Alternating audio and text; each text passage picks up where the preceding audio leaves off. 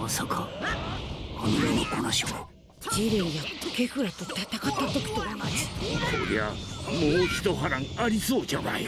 今回がおそらくいえ間違いなく正真正銘最後のチャンス。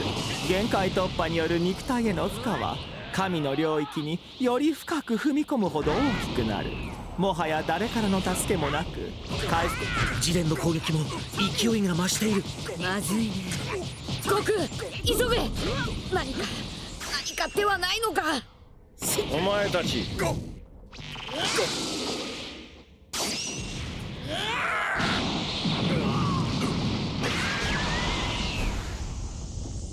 強さの先にあるものね手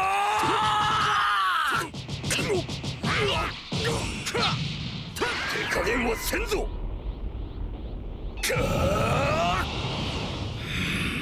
すさまじい木の嵐じゃ。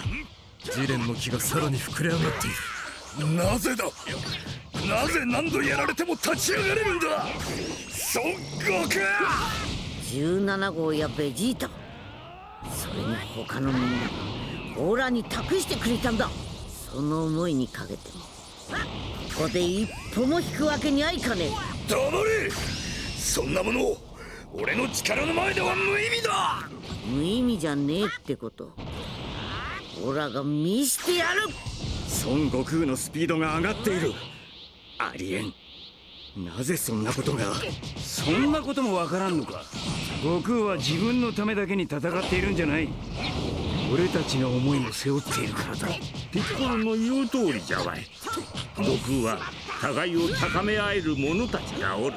それはお互いにとってかけがえのない大切なものと同時に悟空を奮い立たせる存在なのじゃ。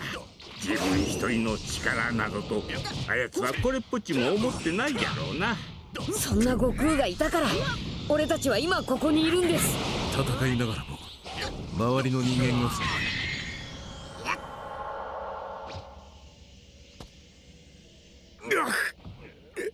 まさか。